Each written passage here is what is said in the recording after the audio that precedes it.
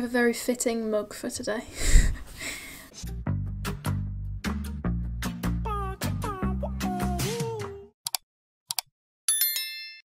Hi everyone and welcome back to my channel. For those of you that are new here, my name is Ellie and I'm currently a Space Systems Optimization Engineer and I've just finished studying part 3 of the Mathematical Tripos at the University of Cambridge and as I say in all of my videos, that's just a fancy way of saying that I studied a Maths Masters. So yeah, I am a bit of a maths nerd really. Before studying my Masters at Cambridge, I studied maths at the University of Leeds for three years and I just love maths if you can't already tell. So yeah, today's video I am just going to be talking to you about how I study maths for the last four years, how I have studied maths at university and give you some general tips and advice that I would recommend students do just to make their learning a lot easier. I've learnt a lot over the last four years and I'm excited to tell you all about the things that I do when studying maths. I've split this video into a few different sections so if you want to navigate around the video a bit easier I'm going to put timestamps in the description. The first point I'm going to talk about is point number one, and this is what you should do before your lectures even start.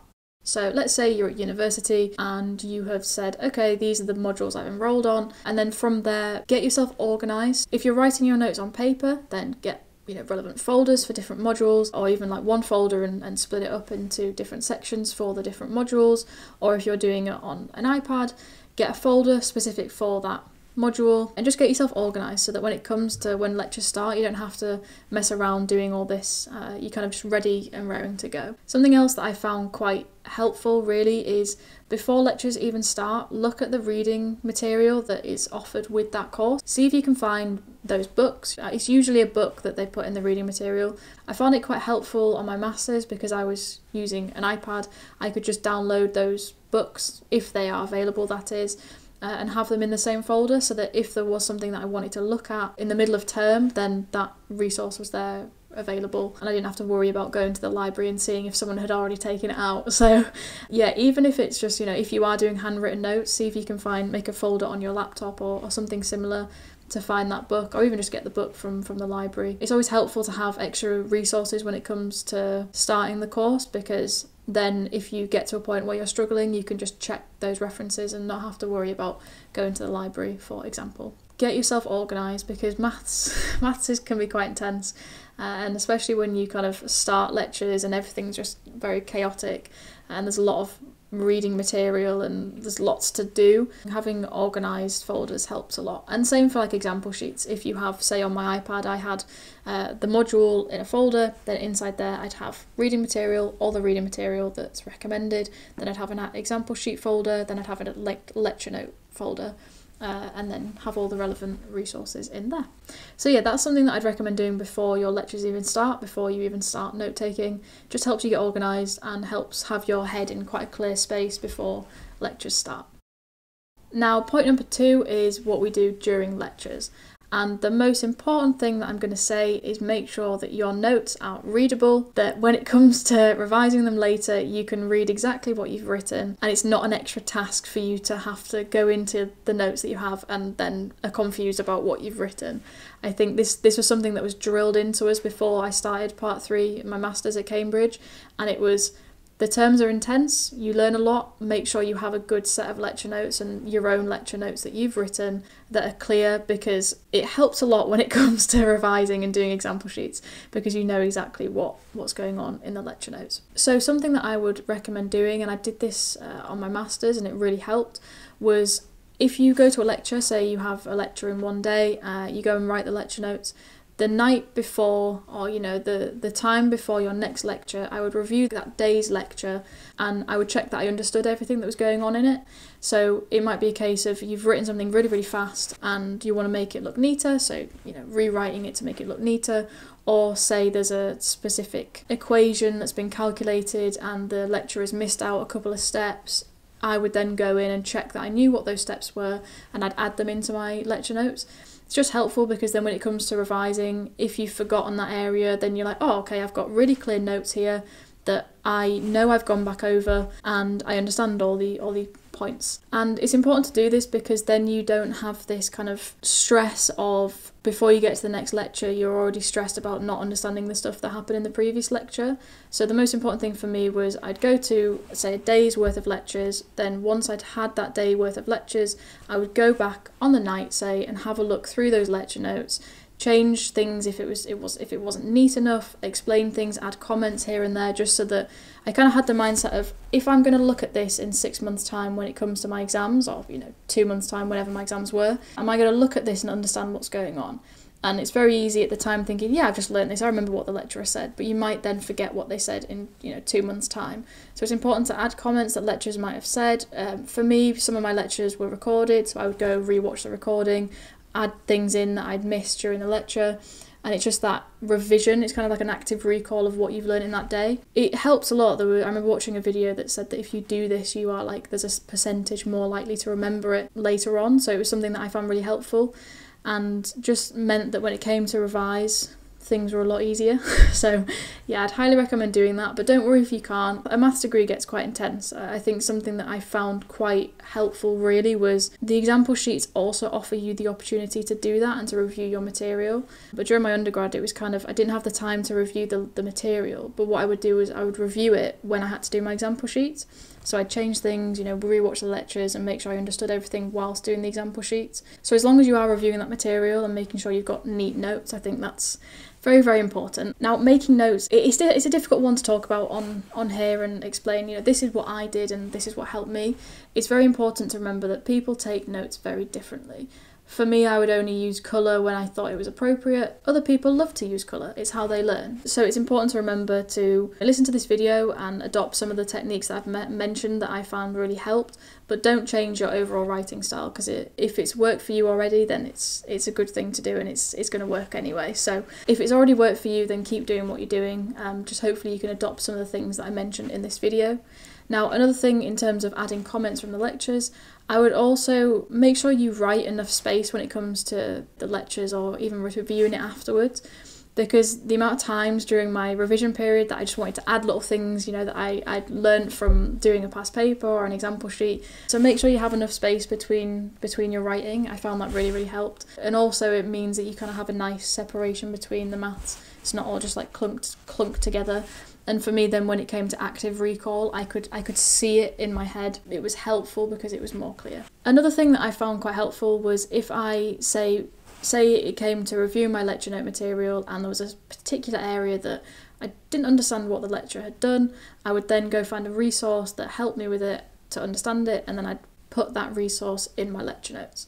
It just meant that then when it came to revision, I, I remember there was like this particular area and I was like, I have no idea what the lecture note, what the lecturer did here, and I'd forgotten it. But then when I went to the resource that I'd put in the margins, I remembered it and I saw it and I revised that uh, as material. So if it is that kind of if you have to use a resource to help you with something in your lecture notes, make sure you make a note of it because you'll thank yourself later when it comes to revising. So, yeah, that's kind of the main piece of advice. I think, in terms of a general overview for how I make notes during lectures, the most important things for me are to just make sure that it's it's clear, it's not too crammed in, you know, you can read all of the equations neatly, you know what it says, it's not too messy. Just making sure you have nice lecture notes that if you were to review them when it comes to revising, you know exactly what's going on at every point in those lecture notes. And that's something you should be aiming towards. It's very easy in the middle of a lecture to just think, oh, this isn't going to matter. But trust me, you will thank yourself when it comes to revising because you have such nice, neat lecture notes. The other thing that I think is very important is reviewing the material, is the active recall of, okay, I've had this lecture, I'm going to go back over it, going to fill in the points that I did not understand, and just making sure that you understand everything in that lecture before you go to the next one. Now, that's sometimes easier said than done. There have been times where I've been like, oh my gosh, this is going to take maybe, say I had a lecture the next day, I would then make it my aim to get it done at some point. It, say it was the week, by the end of the week, I'd make sure I understood it, um, use resources. I think maths degrees can be very intense, and a lot of the time you feel like you're chasing your tail because you have example sheets, example sheets, lectures, lectures. There's a lot of content to learn, it can be quite stressful, but I think the most important thing is, yeah, reviewing the material when you get the chance, and when it comes to doing the example sheets as well, that also gives you a chance to review the material. But like I said, don't worry if you don't, you do have a long time to revise as well. Uh, and a lot of the time, if you don't understand something, you know, early on in the lecture course, usually by the end, it seems it's very trivial to you. So don't worry too much about it uh, if you don't get it straight away, because there's a there's a lot of time between learning it and your exams to like refine your knowledge on that area. Now, point number three that I'm going to make is going to be on example sheets. Now, you will know if you are a math student that we get a lot of these, and if you aren't a math student and you're going on to university, you get a lot of example sheets, and the reason for that is because maths is a very applied area. Uh, it's not a case of, okay, I'm going to learn this and we have to memorize it and that's what we're tested on in the exam. It's very much, a, okay, you learn this area, then you have to apply it to a specific problem. And I've really enjoyed this part of my first year. We got given a lot of example sheets, and I think the main idea behind that was to just drill into us how to apply the knowledge that we've learned because then by final year we had example sheets but we didn't we didn't have quite as many. They didn't really, I don't think they actually counted towards our grade in final year. So first year was nice. I mean, all the years were nice. I love my maths degree, but first year was nice because we had a lot of example sheets, which meant you practiced a lot of what you'd learn. So I want to mention example sheets because a massive amount of learning that you do and note taking is kind of refined through example sheets. It's very important to remember that, like I said, maths is not just learning it, remembering it, and then that's it. It's learning, remembering, then applying.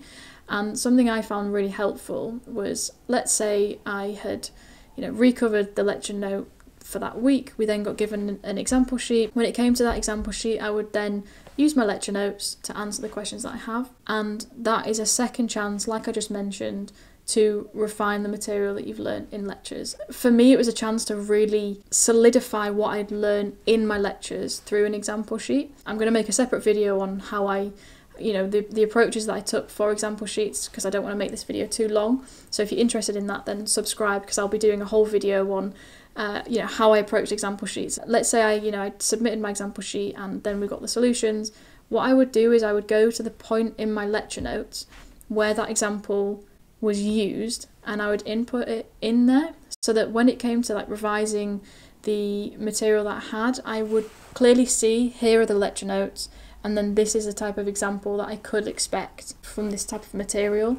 And for me, that was really helpful because then it's very easy as a math student to just think, oh, here are the lecture notes. I know them inside and out. That's fine. Let's say you do, but there's a there's a big difference between knowing lecture notes inside and out and being able to apply them to a problem. So instead of lecture notes, example sheets, it was kind of like it, it kind of integrated the two together so that I had a well rounded knowledge of the kind of memory side and the application side as well. Like I said, you don't have to do that, but I found that really, really helpful. I also found when doing example sheets, I, I did quite a bit of Googling around the area because a lot of the time you extend what you've learned in that chapter, let's say, uh, to the example sheet and that's where when you have the gaps in your in your notes you can then fill in little points and say oh well, we could add this in here this is what happens when we change this um, and again, that that really helped as well because if I had if I had clear and coherent lecture notes, it meant that I could then just pop things in where where and when I needed,